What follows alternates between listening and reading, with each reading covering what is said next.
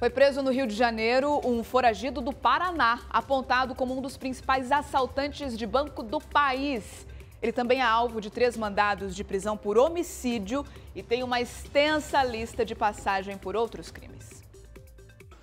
Marcelo Rosa Andrietti foi preso no Rio de Janeiro pelas equipes do CORE do Rio e o COP do Paraná.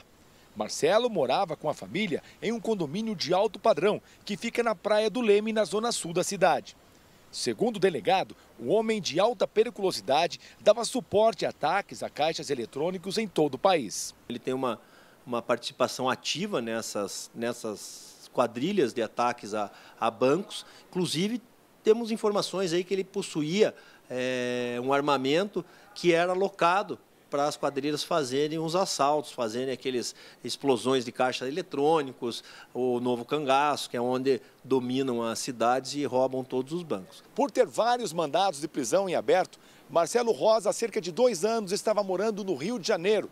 Mas, de acordo com as investigações, ele circulava pelos estados de Santa Catarina, São Paulo e na cidade fluminense chegou a mudar o nome para não ser localizado pelos policiais que já acompanhavam pelos passos do criminoso há cerca de oito meses. Ele era foragido do sistema prisional e tem passagens por tráfico de drogas, ameaças a testemunhas e responde por três homicídios aqui no Paraná. Foi uma, uma situação ali em 2020, num motel, no seminário, onde estava ocorrendo uma festa e na saída dessa festa, um veículo é, foi atacado por uma caminhonete Triton que passou e metralhou o veículo. Então foram diversas pessoas baleadas, quatro ou cinco pessoas baleadas ali, e o alvo principal, que era um rapaz ali que já tinha mandado de prisão também, entrou em óbito no local. Com a prisão de Marcelo, a polícia acredita que temporariamente o crime organizado perde força no país.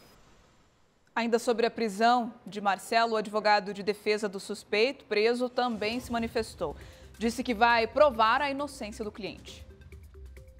Marcelo Rosa nunca foi e nunca será o maior assaltante de banco do Brasil. Marcelo Rosa responde sim a três circunstâncias de homicídio. Esses homicídios estão sendo analisados pela justiça e ainda não foram a julgamento.